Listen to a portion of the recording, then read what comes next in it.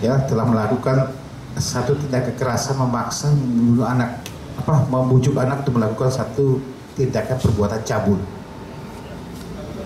Ya perbuatan cabul yang sudah dia lakukan hampir kurun waktu sekitar 10 tahun. Inisial tersangkanya HS umur 19 tahun. Yang bersangkutan memang sampai dengan saat ini mengaku dan memang melaporkan ini baru enam saja yang sudah dilaporkan ke kepolisian. Para korbannya tetapi ini masih kita dalami. Dengan kurun waktu 10 tahun kemungkinan masih ada lagi yang lain. Berdasarkan laporan seseorang anak dengan inisial R.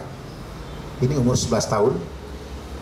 Dia melaporkan telah dipaksa diduga berbuat dipaksa dicabuli oleh yang tersangka tapi sempat melarikan diri.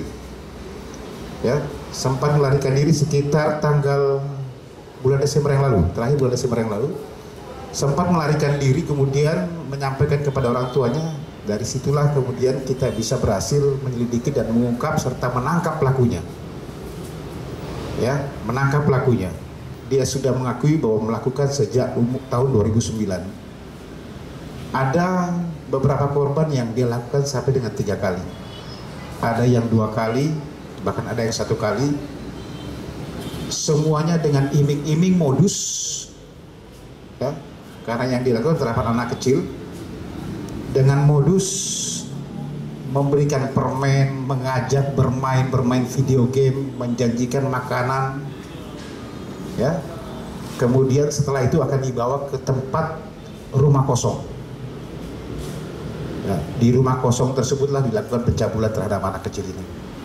Yaitu modus operandi.